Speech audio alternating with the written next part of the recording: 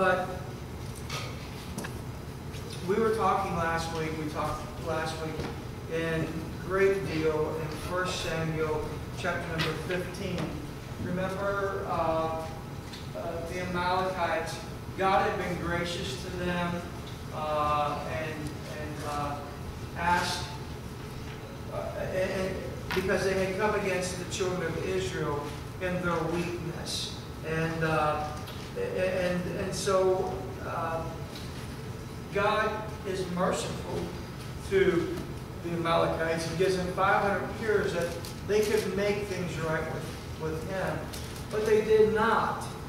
And uh, so the Lord stuck by his word and he said that he was going to utterly destroy the Amalekites. And he wanted uh, the new king, uh, Saul, to follow out the orders and destroy everything. That was the word that, that he was to destroy. God made him to be king. God, God allowed him to be king. And uh, uh, he looked really, really good. But immediately uh, he fell from what doing what God had asked him to do. You know, when we come into a relationship with God, our highest form of worship can be doing what he asked us to do. And uh, sometimes we may make want to make it more complicated and do something different. I'll talk more about that in a little bit. But here it was that uh, God told him to destroy, and we read that uh, Saul and the people chose that they were going to take Ag Agag, the king of the Amalekites, and keep him. They were going to keep the best of the oxen and of the sheep, and uh, they were going to sacrifice. God told him to destroy everything. And I know that seems kind of hard to us to imagine destroying babies and children, but this is what God required. This is the Old Testament. God wanted to, to, to uh, rid of, of, of, the flesh. And uh, even the things that seem young, even the things that seem good.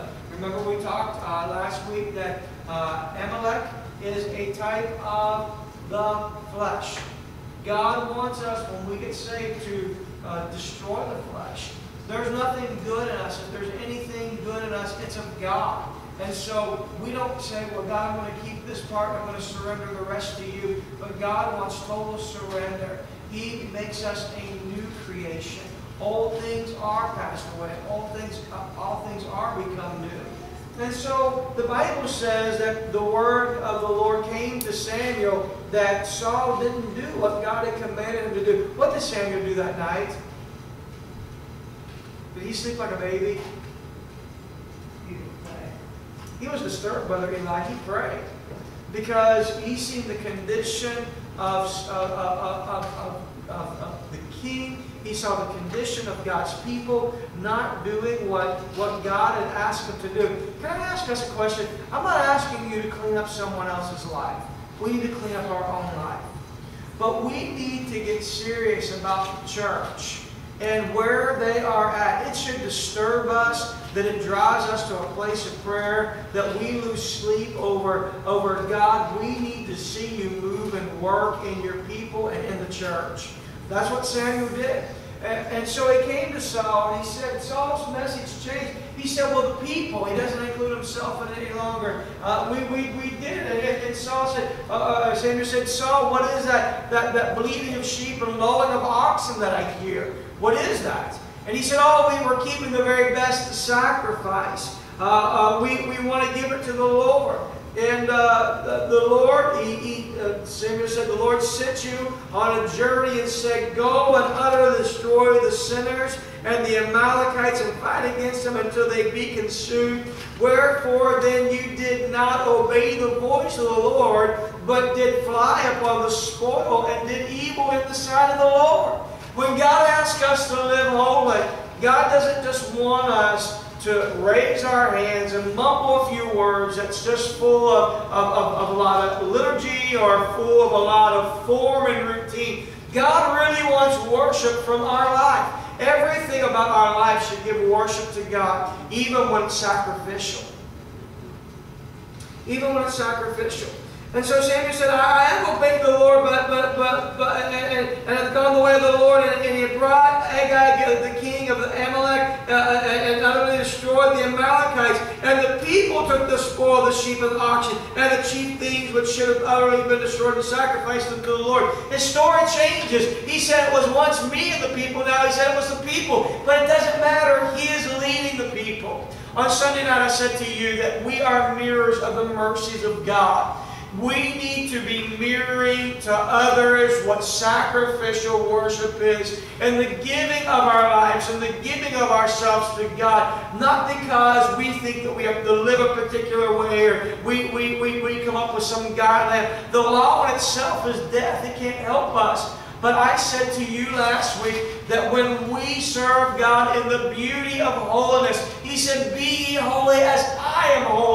God is a holy God. He wants a holy people. And how are we holy? And how do we give Him a sacrifice of holiness? Well, holiness is this it means a relationship with God. When we fall in love with God, that we uh, want to know His Word, that we want instructions from His Word, that when we want to know how God wants us to handle and conduct ourselves in every area of our life, we live holy and we live a holy lifestyle. And it's not because we want to be an oddity. Uh, the world thinks that, oh, there's a little bit of a morality, let's morality. It's not just about living by a moral compass alone. It's about being in a relationship with God. God. Amen. Living holy as He is holy. Amen.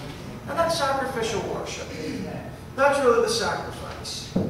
And so uh, we, you're familiar. Uh, uh, Samuel says to Saul, uh, uh, uh, "The Lord hath great delight in burnt offerings and sacrifice, as in obeying the voice of the Lord." Behold, to obey is better than sacrifice, and hearken than the fat of rams. He said, listen, you need to trust in God and the relationship with God that He will take care of you. That you don't need to keep the best, that God will give you the best. What are the things in our life that we hold on to? That we really don't want to surrender to God because they're really good things of life. But if God's voice has spoke to us to surrender, then we need to be willing to surrender. Let me look at this for a few moments tonight. There's a wonderful man in the Bible who we know that if I said there was a man, there's a story about him with a great fish, what would that man's name be? What is it? Jonah. Good. One out of all of us, right? No, you all no, you were all. Oh, he whispered to you? Okay. All right. So, uh, Jonah. God tells Jonah, hey Jonah, I don't want you to go down to Nineveh. Now let's just stop here. You know what? You know what Jonah had a problem with? Jonah had some prejudice.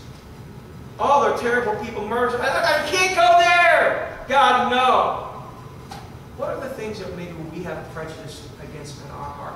Uh, maybe it's people. Maybe it's just things that we're prejudiced in. Maybe our pride gets in the way, and God says, I want you to rid this, or I want you to do this or that. Oh no, God, I can't do that. So you know what we do?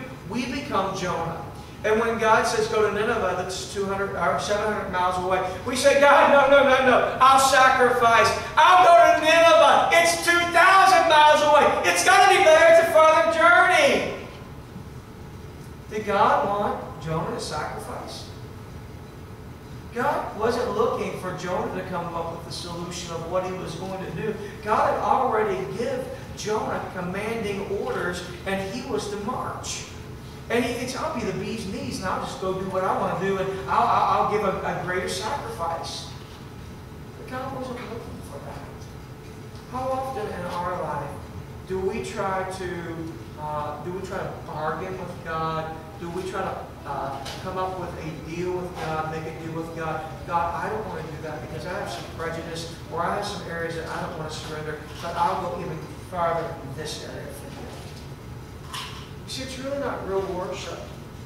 Real worship to God would have been if Jonah would have said, Yes, God, I will go to Nineveh.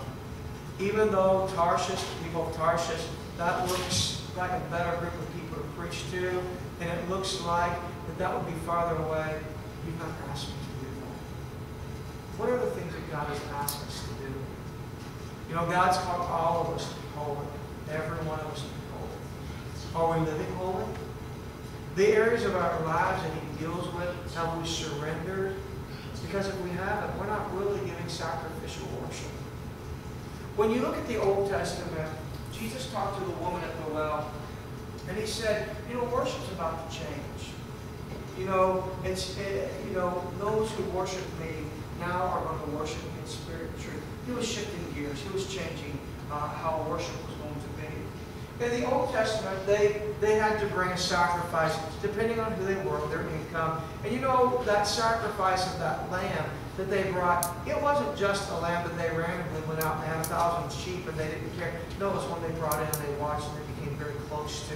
They had endearment to that. And so they loved that lamb. But God required that blood sacrifice, so they gave it to God sacrificially. God is looking for us to worship Him in spirit and in truth. God is looking for the things that are nearest and dearest to our heart. If He says, I want you to surrender, He may not ask you to surrender everything, but we need to be willing to surrender all. Was it Corrie ten Boom who said that she learned to hold the things of this world loosely so it wouldn't hurt when God pried them from her hand? You see, we need to be willing to give God every area of our life. Every area. And use it as sacrificial worship to Him. You see, when we say sacrificial worship, some people are afraid to get committed to God. That's why you don't see some folks being faithful to church at all. You'll talk to lots of people and they say, oh, I believe in God. Well, number one, the devils believe.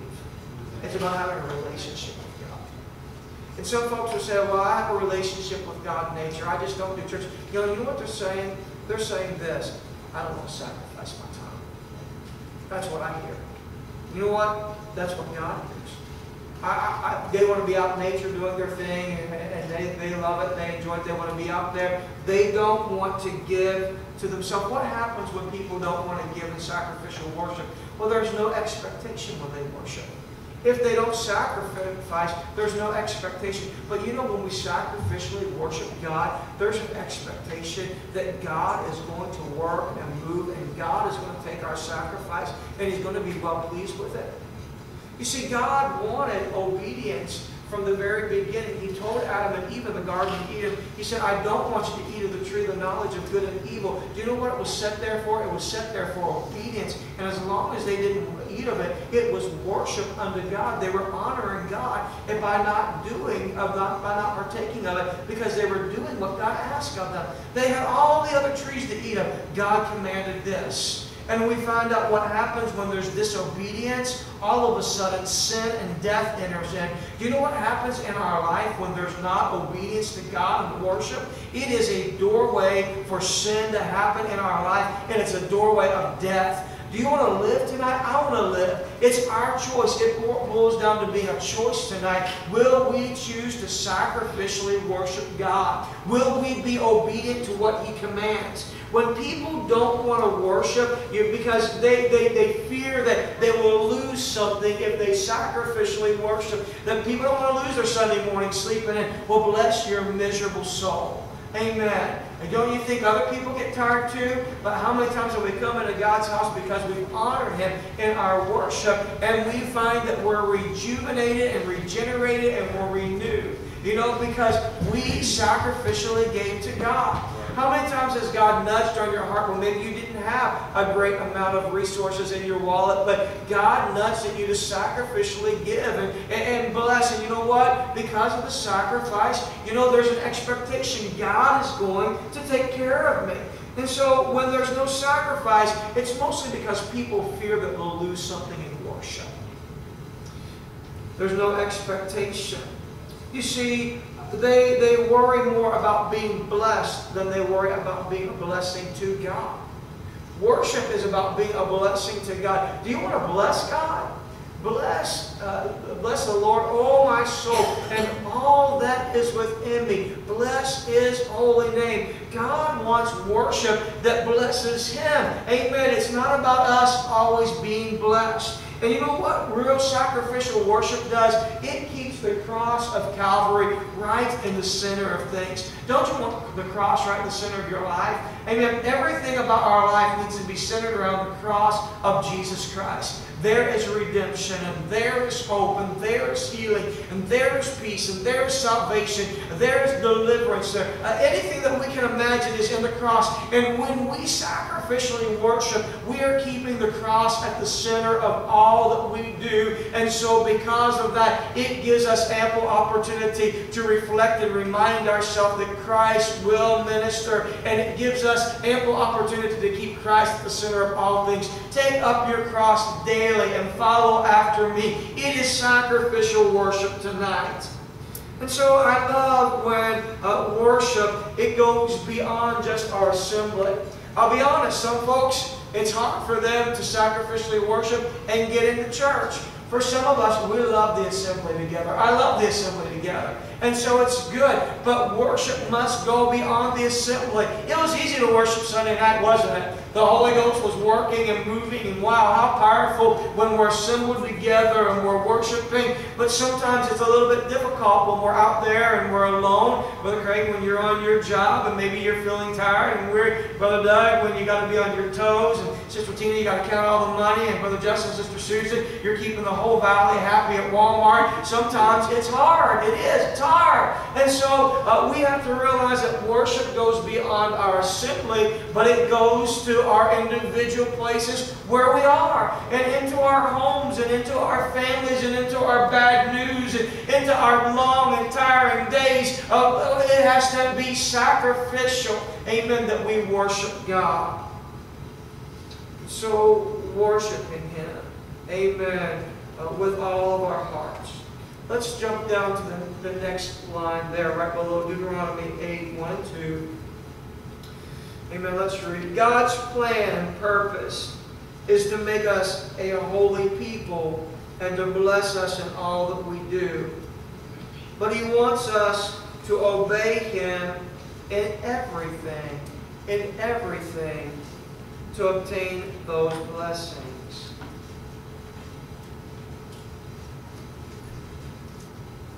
God wants us to obey everything. So there are specifics of God's Word that we look at, and uh, that God says He wants us to do. He wants us to love Him with all of our heart, all of our mind, all of our soul, and all of our strength. He wants us to serve Him and have nothing else in between us and Him. He wants us to love our neighbor as ourselves.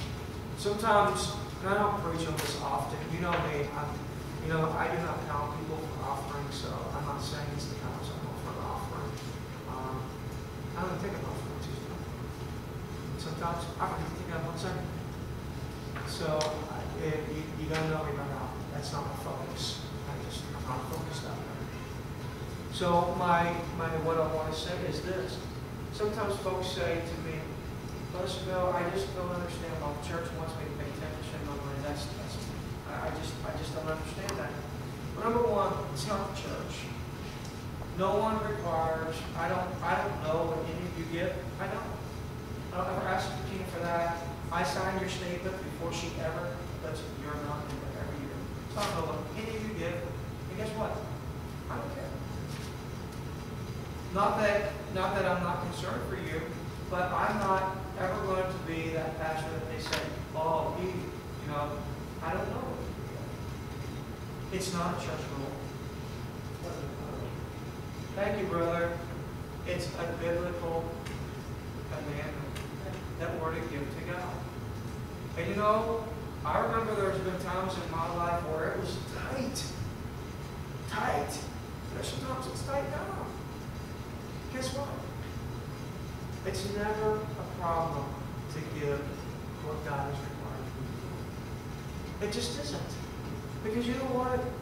When we bless God in our giving of what He commands, He always takes care of us. It's just, it's uncomprehendable. And so I say this not, not for anything about America or about church, but I say this for you in your relationship with God.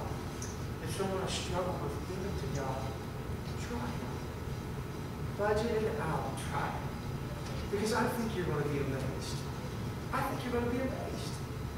And I think everyone in here that gives, you know, we're, you, we just are. And, and so that is just one thing that I look at when I say that when we obey Him.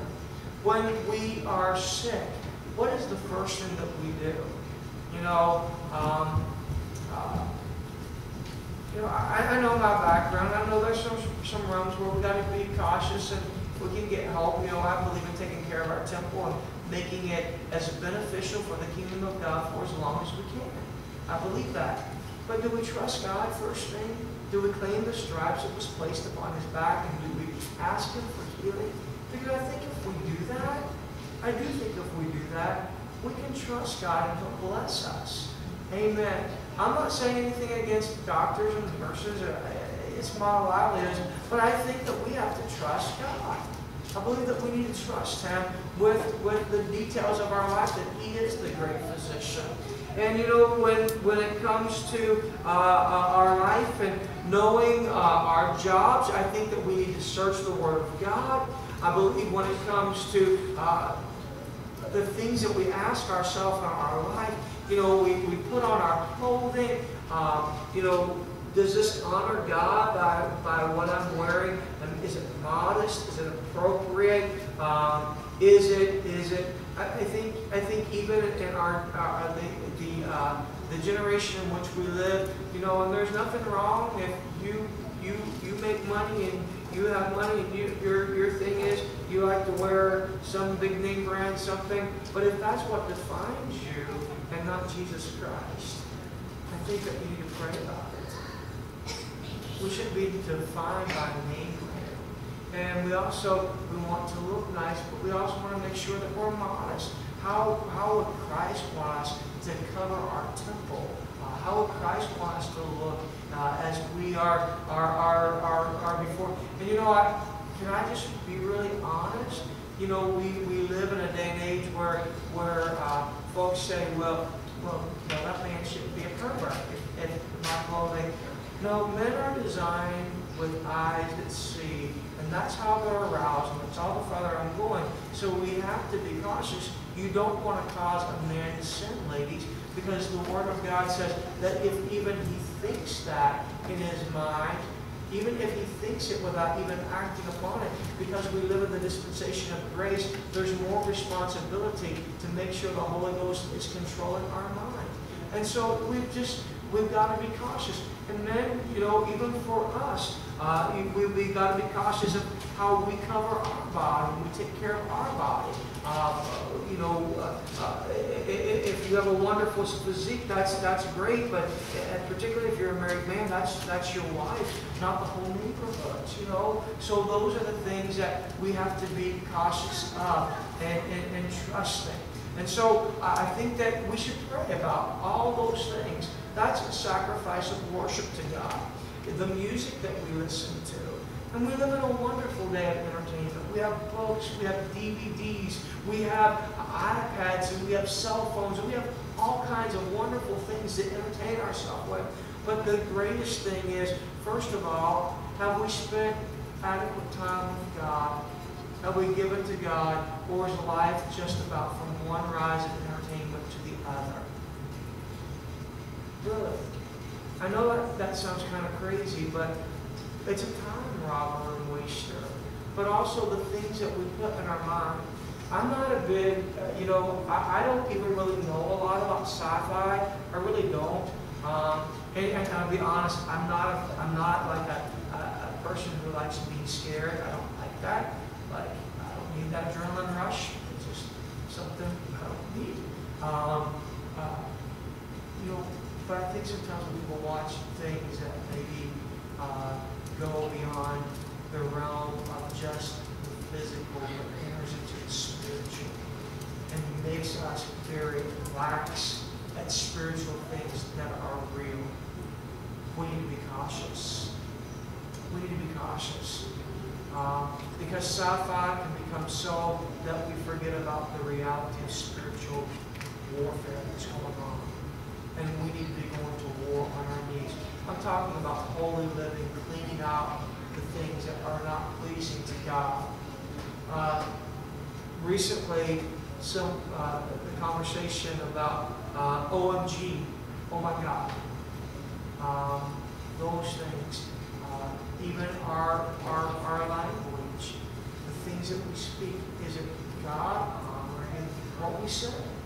Um, and you know, it, it's very, nowadays, um, you know, you see the OMG everywhere. You know, on t-shirts, on little uh, trinkets that they sell at the store. But God is not honored when we take his name in vain. And so it's once again saying the lifestyle of my life is going to be a sacrifice of worship to God.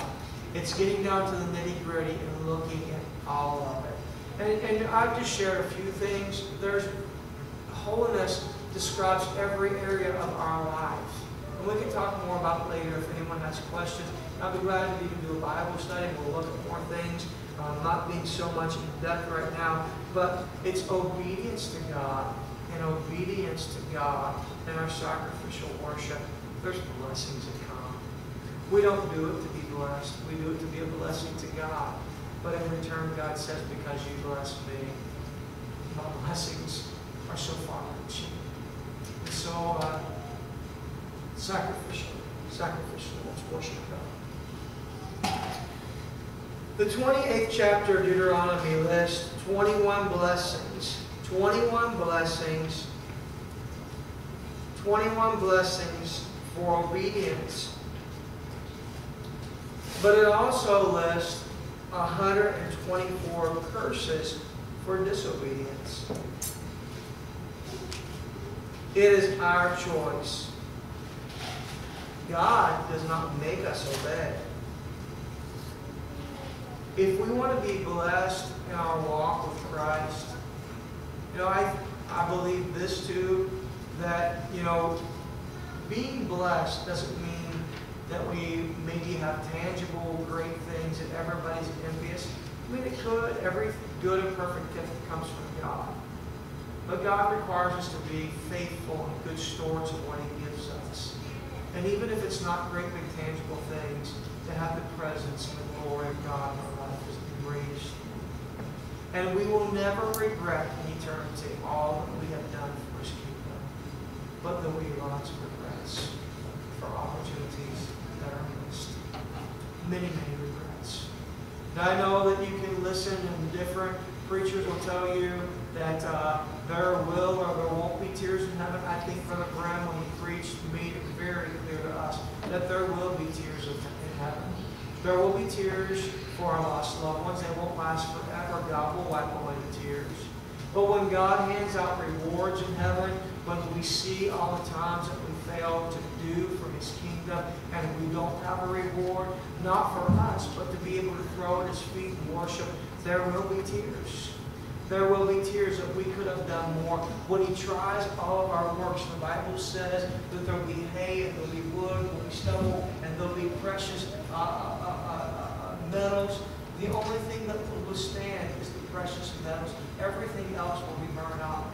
So when we live our life sacrificially, we are saying, God, I'm taking my life to achieve those things which are valuable and in eternity they will not decay, but they will last.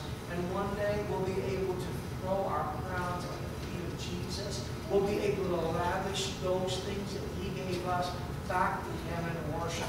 It won't be about us. It'll be about him. So amen. Let's get practice on this side of heaven. All right. Does God call to a higher calling? Does God call some to a higher calling? or a holier or a holier standard of living. He calls all. Calls all. A-L-L. But only some, but only some surrender to that calling. He leaves the choice up to us whether we will arise, whether we will arise to that place He has called us. Let me read the next sentence. We choose, we choose to live holy, act holy, talk holy, think holy, dress holy, be holy for the glory of God. Now let me stop here for a moment. Let me just share this. As Brother Hill, and he's gone on to be with the Lord, and I know that his reward is going to be great in eternity. But he asked the question, as God called certain people to live holy, God calls us all to, to a holy standard. But this is what I do know.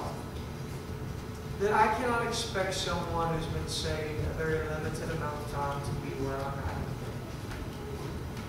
We have to work out our own salvation with fear and trembling. So is there things that God has called us to do that He maybe doesn't call others to? Yeah, we, I don't know some people's background. Um, some people, because of their background, there are certain things that they will not do because they feel like God has called them out and uh, uh, uh, they just won't participate in certain things. I think that we need to always pray about things. It needs to be God that writes it upon our heart. It can't be someone else's standard.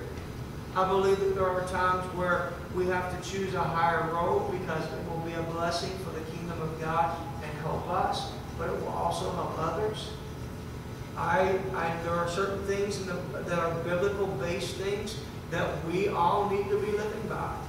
But there are also personal where God deals with our heart. You know what? Don't ever lay down your personal conviction. If God has said no, and God has put up the stop sign, then we have to stop. That's with whatever He has told us in our life. And you know what? When we do that, we do that as a sacrifice of worship to. I don't say this to be mean. I said this last week. We live in a strongly populated Amish community. We see their standards of how they live, and uh, you know it's neat to see. And, and uh, I've met some wonderful Amish people. I've some wonderful Amish friends. But if they're relying upon a horse or buggy and no buttons to get them to heaven, it ain't going to happen. It isn't going to happen beyond Jesus Christ. And you can keep your house disconnected from electric, and you can keep your house disconnected from a phone wire and from a worldly uh, system, the world system. But God's not looking at a phone line or an electric line. God is looking at a life that is separated from this world. And it better be more than just living a standard because grandma or grandpa or mom and dad taught us. This is the way.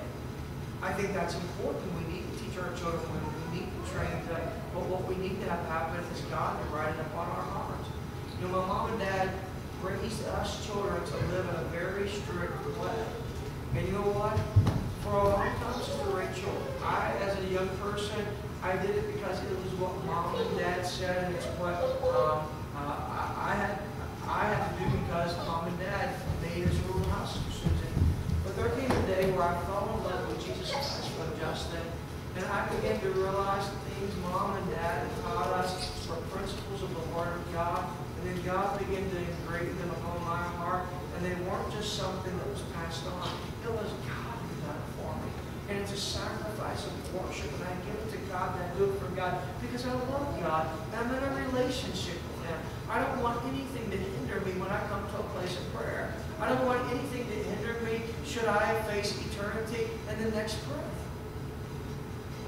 So I live holy because God's holy. I'm going to stop there just because I feel like it transitions there. I want to open this up for you all. I've said a lot tonight.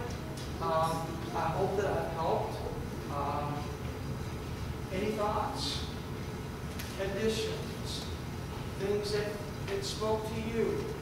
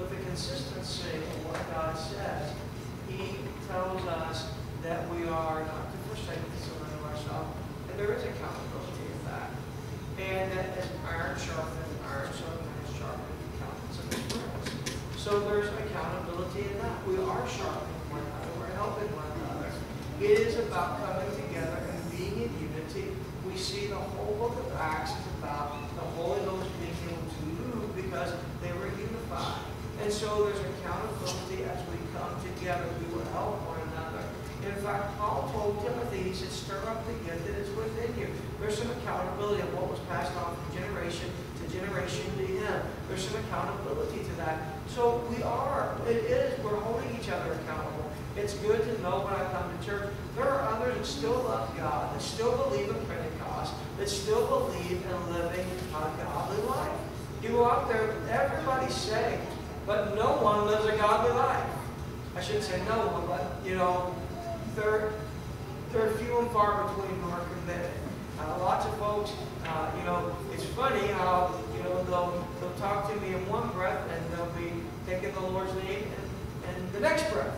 And, uh, and so there's something about us coming together that is accountability. And it brings us to a holy life, to sacrifice.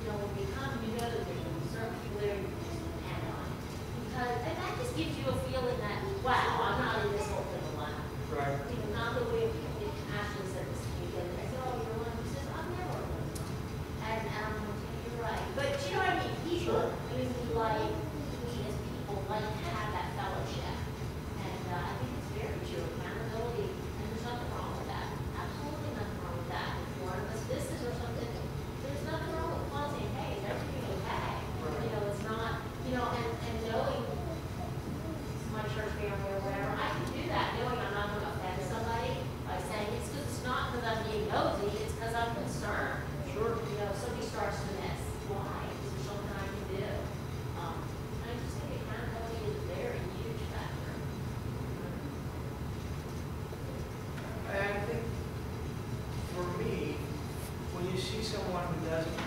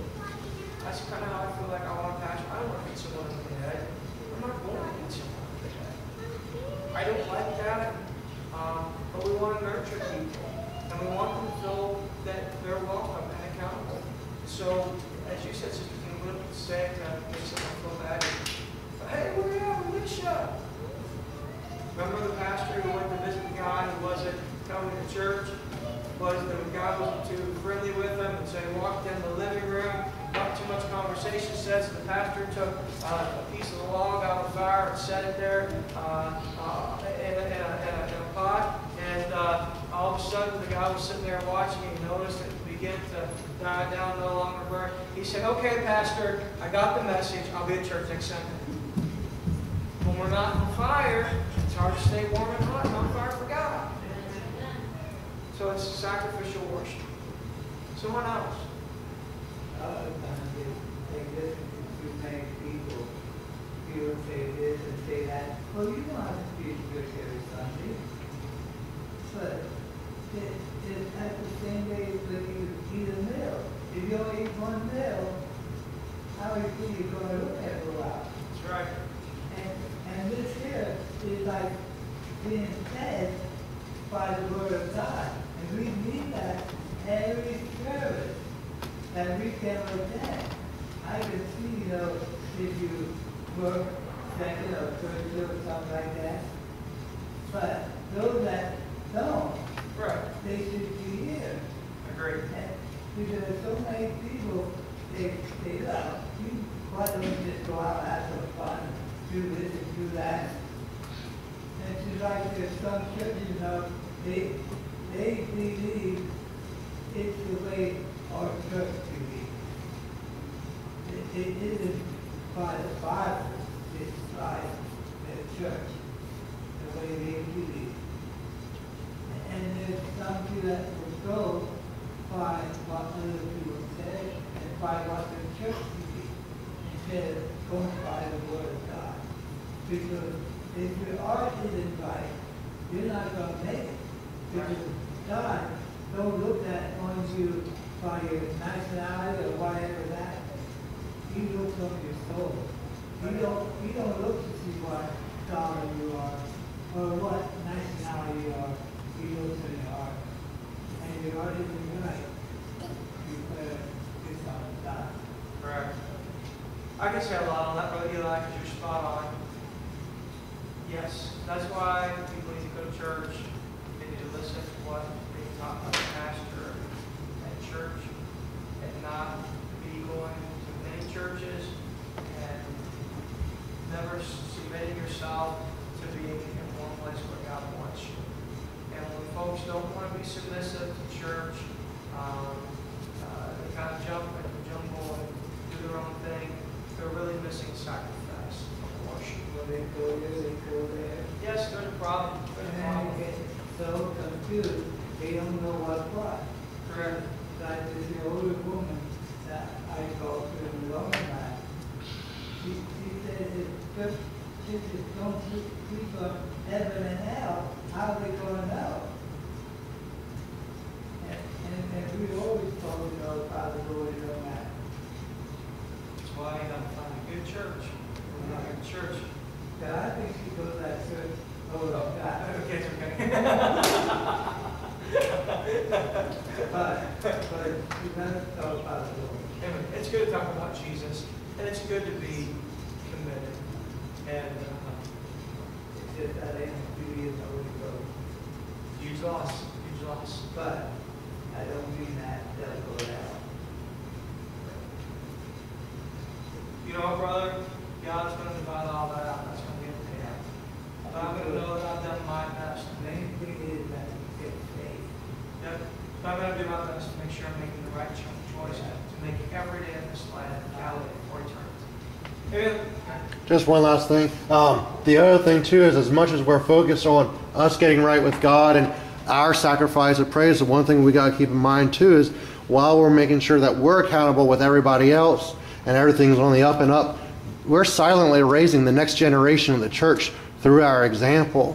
So everything we're doing, whether or not, while we're making sure that we're walking holy with God and we're making sure we're right, we're also silently raising the future generation of the church, and they're seeing what we're doing and how we're responding to praise, how we're responding to worship, how we're responding to giving and tithing and everything.